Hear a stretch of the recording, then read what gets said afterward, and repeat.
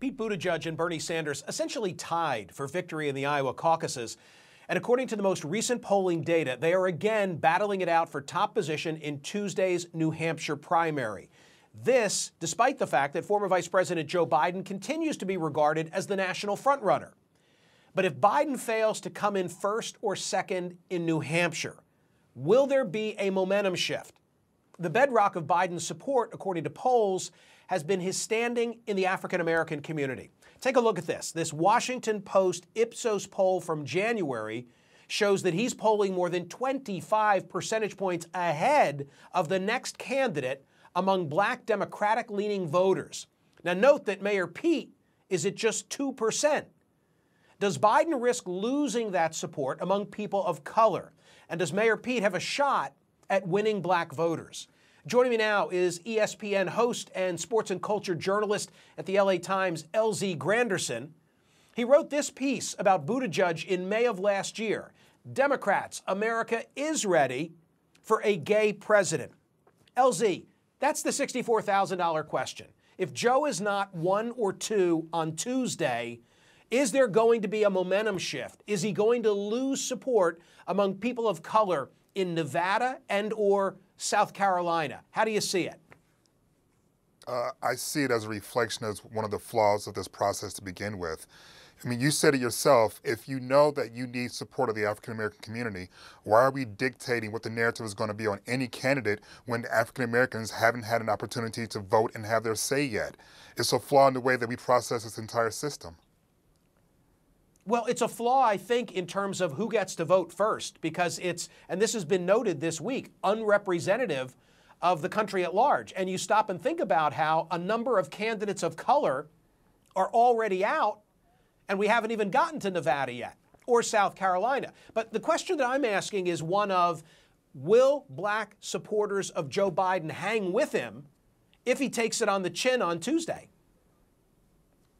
Well, again, you know, you're you're looking at two states that are you know, majority uh, white.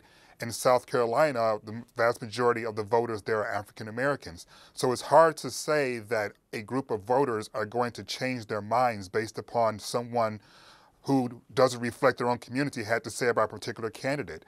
You know, Joe Biden gets the benefit of the doubt for a lot of reasons. You know, name recognition goes a long way. His relationship with President Obama goes a long way. But also the fact that he's proven and at this point, a lot of African Americans are looking for something practical. They do not want to take a chance on anyone. They want something that's a known commodity, and Joe Biden provides them that. LZ, if I put up on the screen the uh, latest numbers from 538 for South Carolina, you'll see we're flipping ahead now by three weeks. Joe Biden with a commanding lead, Pete Buttigieg down at the bottom of that ranking there was in the summer a revelation of a focus group commissioned by the Buttigieg campaign. We could put that up on the screen as well, which is pretty stunning. Being gay was a barrier for these voters, particularly for the men who seemed deeply uncomfortable even discussing it. It was not necessarily a red line that they wouldn't cross, but their preference is for his sexuality to not be front and center. Is there a problem that he faces? Is this an explanation as to why his standing among voters of color is so low? Well, I, I don't believe so. You, you, know, you talked about the piece that I wrote back in May. Well, I wrote that piece. When you read it, you see that I'm actually talking about the internalized homophobia of LGBTQ people, not necessarily African Americans or heterosexuals.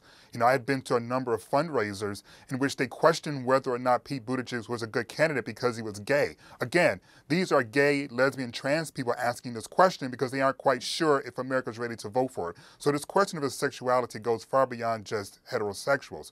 With that being said, Pete Buttigieg has a lot of problems at home.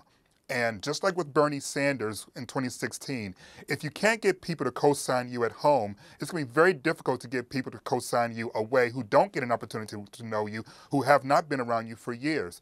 The way that Pete Buttigieg handled the situation with his police chief uh, was disturbing. And I asked Pete directly about that question. And I'll be honest with you, Michael. I like Pete. I think he's he's a smart guy. I think he's very brave. I appreciate his service to this country, both as a serviceman as well as a local official. I know some people discount him being a local official as if it's not important. I would argue that being a local official, whether it's state or, or municipal, requires you to govern every single day, which makes you even more qualified, in my opinion. However, the way that he handled the situation with the police chief echoes of someone who can sympathize with the African American community, but not empathize with the African American community. No one who empathizes with the African American community would see that situation, know the long history of criminal justice reform being needed to be done to help black people, and then handle that situation the way that he did. That's a subject that came up, uh, I'm sure you know, in last night's debate. So you are attributing, bottom line is, you are attributing his current poll number among people of color more to the policing issue, I'll describe it as, than to sexuality. Yeah, absolutely. I mean, we just saw the viral video that went out from a voter in Iowa, a white woman in a predominantly white state, yeah. demonstrate homophobia. So why are we blaming the black community for homophobia when homophobia is more dictated by geography, religion, and education, not necessarily race? I say the reason why Pete Buttigieg has been dragging is simply because when you go back to South Bend, and I've worked in South Bend, I was a freelance reporter for the South Bend Tribune, I know the area relatively well. Uh, for him not to be cognizant of that, of how him handling the police chief was going to play out, particularly the, the fact that he was trying to expose racism within his own police department, uh, it just rings of someone who has a, a, prominent blind spot. But I will add this. Uh, he has proven to be a highly intellectually curious individual.